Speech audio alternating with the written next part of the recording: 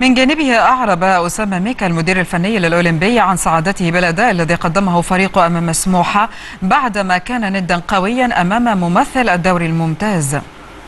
أه قبل أي حاجة الحمد لله على الماتش الولاد قدوا ماتش كويس وأنت عارف أنا فعلا مقعد ثلاث لعيبة مهمين جدا. عندي ماتش يوم الثلاث مهم جدا في الدوري ماتش الكاس. آه ماتش مهم جدا و... وماتش برضو فيه فرصة كويسة. أنت عارف الكاس فيه مفاجآت برضو كويسة. لكن الماتش أنت كان ماشي معقول يعني من هنا لهنا. هم جابوا فينا جون. آه الماتش كان ماشي كويس معانا لغاية ما لعيب من عندي اتطرد وبرضو العيال واقفة على رجليها لغاية آخر وقت.